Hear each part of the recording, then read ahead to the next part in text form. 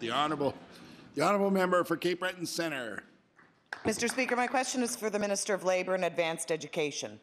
People facing bullying or psychological harassment at work from colleagues currently have no recourse in Nova Scotia.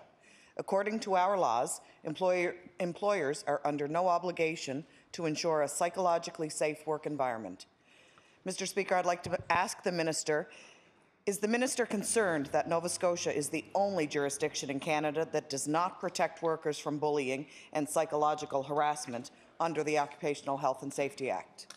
The Honourable Minister of Labour. Thank you, Mr. Speaker. I'd like to thank the member for the question. Uh, Mr. Speaker, in our uh, act, we actually do have um, provisions for workers if they feel that they're unsafe, and bullying would be one of those examples, that they can refuse work, they can go to their superiors.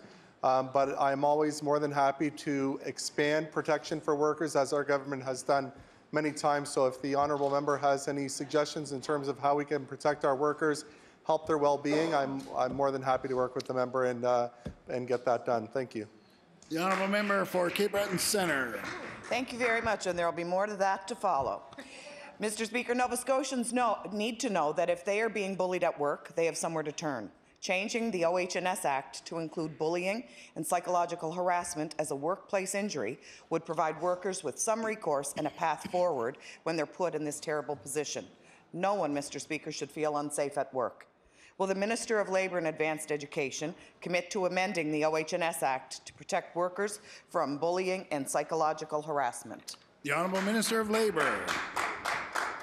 Thank you, Mr. Speaker. Um, since our government's come into, uh, into power, we have uh, made changes to occupational health and safety. The safety of our workers is the utmost, uh, it's a priority for our government. I'm more than happy to look at uh, anything that can help our workers' safety. More than happy to work with the member in terms of uh, bullying in the workplace.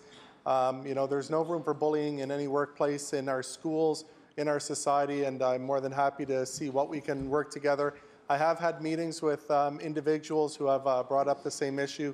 We've talked about ways that it, that it could go forward in terms of uh, within the Department of Labor, within our mandate. There are other options available to individuals. We have helped help guide them through that as well. Thank you.